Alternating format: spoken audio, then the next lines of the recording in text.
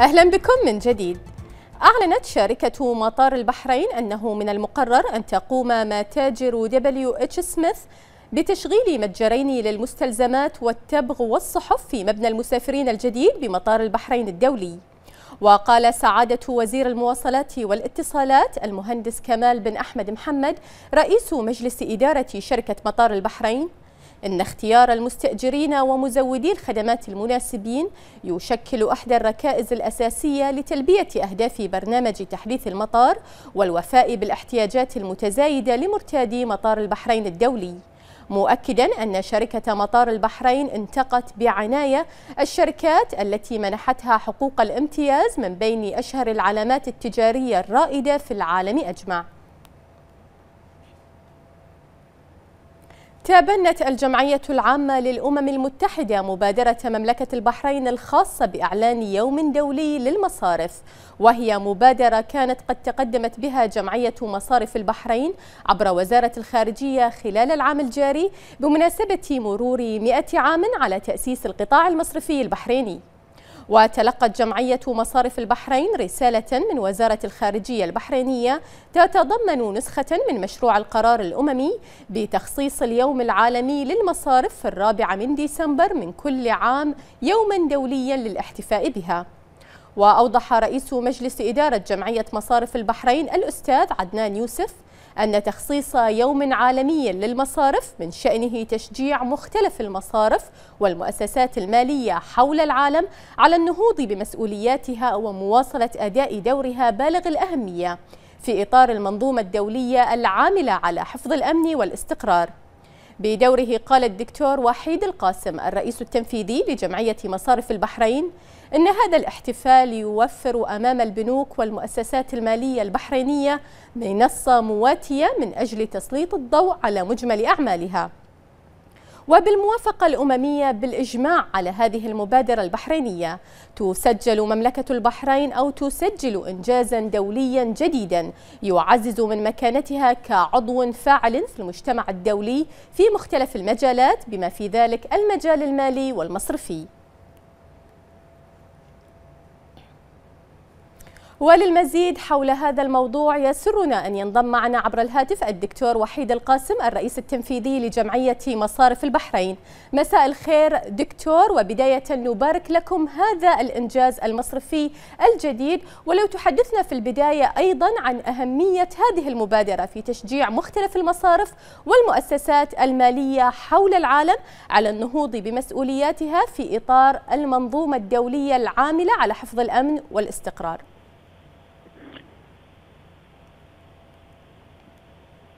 مساء الخير.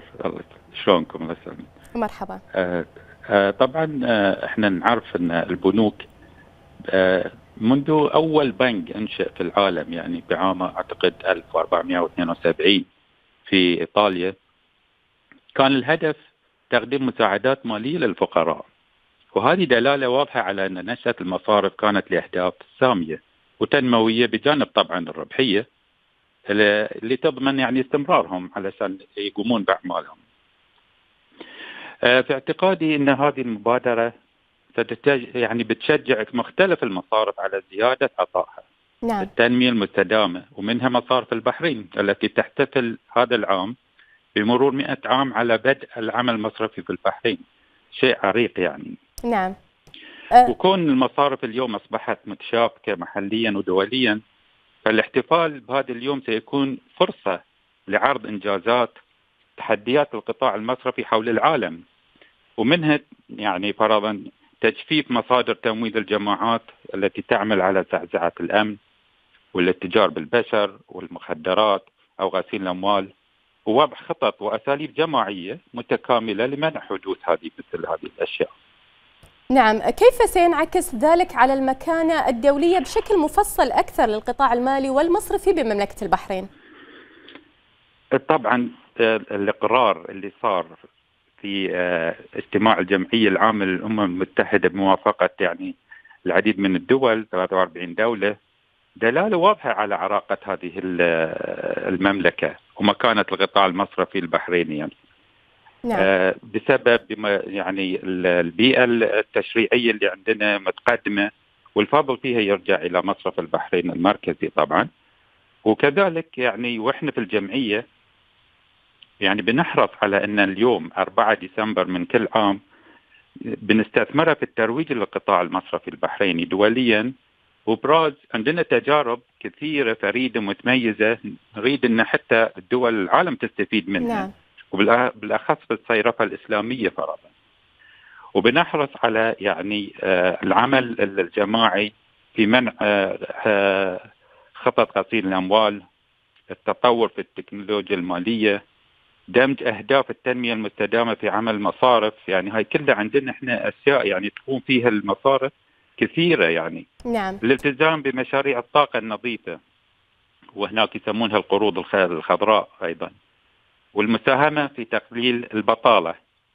وسنعمل دعم على دعم المؤسسات المتناهية والصغيرة والمتوسطة واللي هي مستقبل الاقتصاد حسب يعني الرؤية الاقتصادية 2030 ودائما بنعمل على زيادة الطبقة الوسطى في البحرين. نعم. الدكتور وحيد القاسم الرئيس التنفيذي لجمعية مصارف البحرين شكرا جزيلا لك. والآن نترككم مع أسعار صرف الدينار البحريني مقابل العملات الخليجية والعالمية.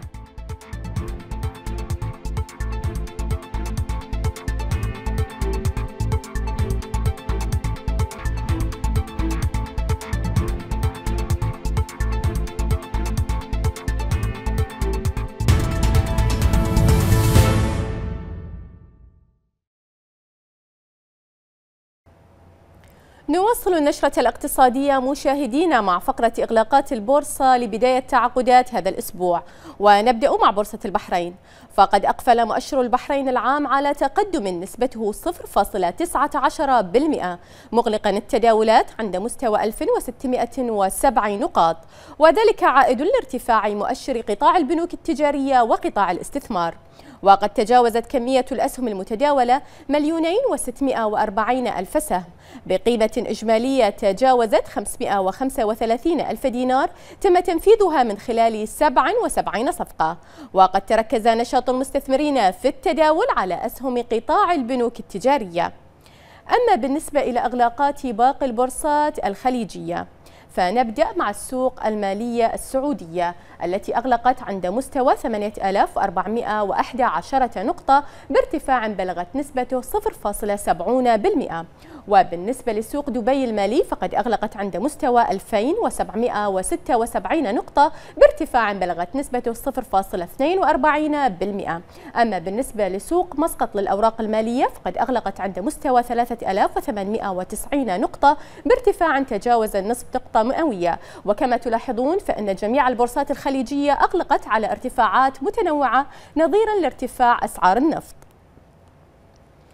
أعلنت دولة الإمارات العربية المتحدة عن تقديم 300 مليون دولار دعما للأردن وذلك عبر صندوق أبو ظبي للتنمية. وأكد صندوق أبو ظبي للتنمية في بيان له أن توجيهات القيادة الرشيدة تؤكد مدى التزام دولة الإمارات بالدعم الدائم لقيادة وأبناء الشعب الأردني الشقيق وهو توجه راسخ في سياستها الخارجية منذ عهد القائد المؤسس المغفور له الشيخ زايد بن سلطان آل نهيان. وقد استمر وتطور في عهد الشيخ خليفة بن زايد آل نهيان رئيس الدولة. وأشار البيان إلى أن قيادتي البلدين تحرصا على تعزيز العلاقات الثنائية بين دولة الإمارات والمملكة الأردنية الهاشمية. وهي علاقة مبنية على الأخوة والمصالح المشتركة والمصير الواحد حسب ما نقلت وكالة الأنباء الإماراتية وام تخطت احتياطيات تونس من النقد الأجنبي لأول مرة حاجز 19 مليار دينار أي ما يعادل 6.78 مليار دولار أمريكي.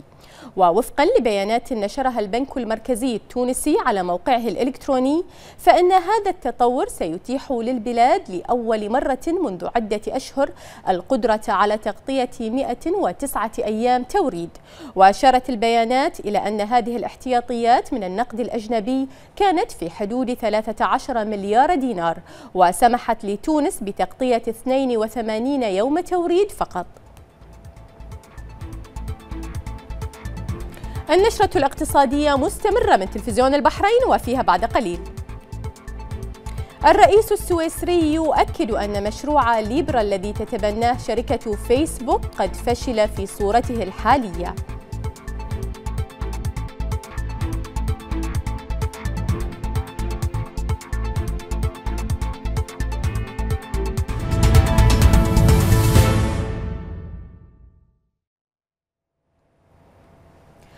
حققت الصين رقما قياسيا في إنشاء الشركات الناشئة خلال عام 2019 ووفق بيانات رسمية بلغ المعدل اليومي نحو 20 ألف شركة جديدة. وعملت الصين منذ فترة طويلة على تكثيف الجهود لتحسين بيئة الأعمال لإطلاق حيوية السوق وتعزيز النمو الاقتصادي عالي الجودة. كما وبدأت الحكومة الصينية إصلاحا تجريبيا لفصل تصاريح التشغيل التجارية عن تراخيص العمل في جميع مناطق التجارة الحرة التجريبية الثمانية عشر في أول ديسمبر. ومن المتوقع أن يغطي الإصلاح البلاد بأكملها في عام 2020 تعتزم وزارة المالية في كوريا الجنوبية بيع ما قيمته 8.96 مليار دولار من سندات الخزانة عبر عطاءات في يناير 2020 وهو ما يزيد عن ثلاثة أمثال القيمة المحددة لشهر ديسمبر والتي تمثل القيمة الأكبر على الإطلاق.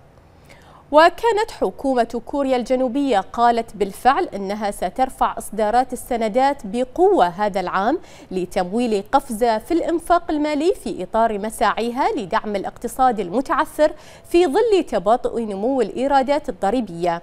ويأتي المبلغ المزمع مقارنة مع سندات خزانة بقيمة 3.9 تريليون ون من المخطط طرحها في عطاءات هذا الشهر. قال الرئيس السويسري أن مشروع ليبرا الذي تتبناه شركة فيسبوك قد فشل في صورته الحالية ويتعين تعديله لكي تجري الموافقة عليه. وذكر أولي ماور وهو أيضا وزير مالية سويسرا إلى جانب كونه رئيسها متحدثا لهيئة الإذاعة السويسرية أنه لا يعتقد أن ليبرا أمامها فرصة في صورتها الحالية لأن البنوك المركزية لن تقبل بسلة العملات الداعمة لها. وأثارت خطط العملة الرقمية التي تقودها فيسبوك على أن تصدرها وتنظمها مؤسسة ليبرا التي مقرها جنيف. بواعث قلق في أوساط الجهات التنظيمية والساسة فيما يتعلق بجوانب مثل الخصوصية وتأثيرها المحتمل على السياسات النقدية وتغيير المشهد المالي العالمي.